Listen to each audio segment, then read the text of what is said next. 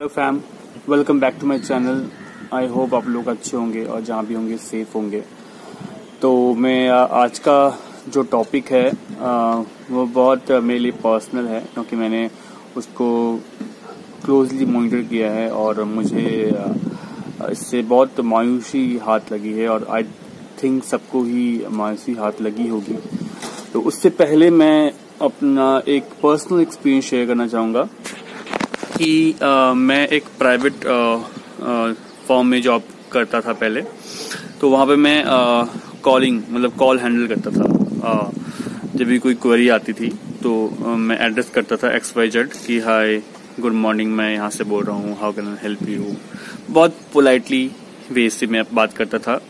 और हमें सिखाया भी जाता था ट्रेनिंग भी मिलती थी कि आप बहुत प्यार से लोगों से बात करेंगे। और उनकी क्वेरी को पहले सुनेंगे और उसके बाद रिप्लाई करेंगे। और जो अभी भी जिस फॉर्म में मैं काम करता हूँ, वहाँ पे भी सेम चीज़। है वहाँ पे भी अभी तो मैं वो काम नहीं करता, लेकिन हमें ट्रेनिंग मिली है कि अगर आपके पास कोई फ़ोन आता है तो आप पहले गुड मॉर्निंग गुड इवनिंग बोलेंगे और अपने कंपनी के बारे में बताएँगे, आप कहाँ से बोल रहे हैं एक्स जेड और अपना नाम बताएँगे। और दूसरे से जाने की कोशिश करेंगे कि वो क्या चाह रहा है एक्स जेड और उनको प्रॉपर सुनेंगे और उसके बाद रिप्लाई करेंगे। तो आपको लग रहा होगा कि मैं ये सब क्यों बोल रहा हूँ? मैं इसलिए बोल रहा हूँ कि आ, हाल फ़िलहाल के दिनों में आ, हमें बहुत से कॉल्स करने पड़े वो भी हॉस्पिटल्स में चाहे वो प्राइवेट हॉस्पिटल हो या फिर सरकारी हॉस्पिटल्स और हम वहाँ इसलिए फ़ोन करते थे बिकॉज़ कि बेड्स अवेलेबल है कि नहीं? ऑक्सीजन बेड्स अवेलेबल है कि नहीं? आईसीयू है कि नहीं? एंड वेंटिलेटर बेड्स अवेलेबल है कि नहीं? इसलिए हम क्वेरी करते थे। बिकॉज़ जो दिल्ली के गवर्नमेंट के वेबसाइट्स हैं, वहाँ जो लिखे होते हैं कि दीज बेड्स आर अवेलेबल जब वहाँ पे जाओ तो दे सेड नो हमारे पास बेड्स नहीं है। वो आप अपडेट नहीं है वो वेबसाइट तो मैं गवर्नमेंट से और जो भी प्राइवेट फॉर्म है, उनसे एक अनुरोध करना चाहूँगा। माइट भी ये वीडियो वहाँ तक ना पहुँचे, लेकिन फिर भी मैं कोशिश करना चाहता हूँ इस वीडियो के थ्रू कि आपने जो नंबर दिया है सबसे पहले तो वर्किंग हो। आप ने एक पर्टिकुलर दो नंबर दिए होंगे, एक लैंडलाइन नंबर एक मोबाइल नंबर तो दो बंदे डेडिकेटली वहाँ पे आपको बैठा के रखने चाहिए, चाहे आपके पास बेड हो या ना हो। कोई फ़ोन उठाए।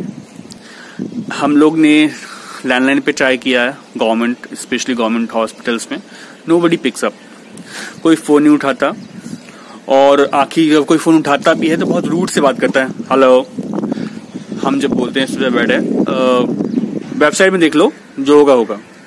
They cut the phone 99 percent वो लोग फ़ोन नहीं उठाते। हैं गवर्नमेंट हॉस्पिटल की बात कर रहा हूँ। दूसरा प्राइवेट हॉस्पिटल में भी सेम चीज़ है कि वो उठाते तो हैं हाँ सर, नहीं, सर बेड नहीं है एंड दूसरा बेड होगा तो आप वेबसाइट में देख लो। तो ये सब उनकी रटी रटाई चीज़ें हैं। आपको जो कॉलर्स हैं, उनको मैं एक एडवाइस देना चाहूँगा। आप आप जो फ़ोन कर रहे हैं, उनको अपनी जगह रख के देखो कि किस दर्द में फ़ोन कर रहे हैं आपको, और आपका वे ऑफ़ टॉकिंग कैसा होना चाहिए। एक पोलाइटली आपके मन वॉइस में होना चाहिए कि सर सीरी सॉरी सर हमारे पास बेड्स अवेलेबल नहीं है। अब अपना नंबर दे दो I will call you back जैसे भी अवेलेबल होता है, या वेबसाइट देख लो सर वो हम अपडेट करते रहते हैं। या फिर मेरे पास और रेफरेंस है तो I will share that with you ऐसा होना चाहिए रिस्पॉन्स कि आप अगर फ़ोन उठा रहे हैं तो पता चलना चाहिए जो दूसरे वाला फ़ोन कर रहा है, वो किस मोटो से कर रहा है। आप हॉस्पिटल में काम कर रहे हैं, आपके way of talking I know आपके पास बहुत कॉल आते होंगे, लेकिन ये आपका जॉब है। अगर आप फ़ोन उठा रहे हैं दिस योर ड्यूटी तो आप अपने ड्यूटी से ये नहीं बोल सकते कि नहीं, मेरा मूड खराब है, मैं अच्छे से जवाब नहीं दूँगा वाई जेड हमें ये सिखाया जाता है आपके घर में, चाहे कुछ भी हो, लेकिन जब फ़ोन कर रहा है बंदा, आप उससे प्यार से ही बात करोगे। चाहे आपके पर्सनल लाइफ में या प्रोफेशनल लाइफ में कितनी भी प्रॉब्लम्स चल रही हो। तो मैं एक और एक सजेशन देना चाहूँगा गवर्नमेंट को कि आप लैंडलाइन नंबर दे रहे हो। वेल एंड गुड अगर आपका बंदा बिज़ी है तो एक सिस्टम लाओ, जिसमें कि आपके सारे लैंडलाइंस में ऑटोमेटिक वॉइस सिस्टम हो, कि हम फ़ोन पे अपनी वॉइस मैसेज रिकॉर्ड कर सके, और उसके बाद वो मैसेज कोई दूसरा बंदा सुन के उसको तुरंत इमिजिएटली रिस्पॉन्स करे। आई नो आपको पता है, बहुत फ़ोन आ रहे होंगे, लेकिन आपके फ़ोन रिकॉर्डर में वॉइस रिकॉर्डर होना चाहिए, जिससे कि अगर आपका फ़ोन उठता भी नहीं है तो लोग कस्टमर आपको जो भी उनकी क्वेरी है, वो रिकॉर्ड कर सके और इमिडिएटली कोई वो सुने और उसको कॉल बैक करे और उसको रिस्पॉन्स करे। सेम विथ मोबाइल मोबाइल में आपको एक ऑटोमेटिक मैसेज होना चाहिए। अगर आप फ़ोन नहीं उठा रहे हो तो आपको एक ऑटोमेटिक मैसेज आप ड्रॉप कर दो। Hi sir this is X Y Z really sorry we don't have any bed right now I let you know as soon as possible या जो भी। ये एक जस्ट छोटा सजेशन है, क्योंकि फ़ोन नंबर दिया है आपने एक वेबसाइट में एटलीस्ट वो उठाए। There is no use to give numbers आप जो देते रहे हो, इतने अवेलेबल हैं अगर वो फ़ोन उठाया ही ना। दूसरी चीज़ जो मैं गवर्नमेंट को एक सजेशन देना चाहूँगा कि आपने जो हॉस्पिटल के लिस्ट लिखे हैं, वो बहुत रैंडम लिखे हैं। एक X Y Z A B C कहीं जेड कहीं का नाम हॉस्पिटल का नाम अलग अलग। तो आप एक ऐसा काम कर दो कि हॉस्पिटल्स के नाम अल्फाबेटिकल से हो, या फिर आपका एरिया वाइज हो। आई डोंट नो मैंने एरिया वाइज का उतना ध्यान से देखा नहीं, लेकिन जो हॉस्पिटल्स हैं, उसके नाम बहुत इधर उधर हैं, लिखे हुए हैं, जिससे कि लोग सर्च करने में बहुत सपोज़ मुझे किसी ने बोला कि, यार, जयपुर हॉस्पिटल में अवेलेबल है। तो मैं पूरा देखने लगता हूँ कि कहाँ पे लास्ट में मुझे मिलता है। तो this is very difficult to find the hospitals तो प्लीज़ अल्फाबेटिकल सीरीज़ में हॉस्पिटल के नाम लिखो और इसकी अवेलेबिलिटी लिखो और प्लीज़ जो लैंडलाइन नंबर दे रहे हो मोबाइल नंबर दे रहे हो, वो बंदा या बंदी फ़ोन पिक करे और अच्छे से रिस्पॉन्ड करे उस चीज़ का, जो कि आगे हमें काम आए।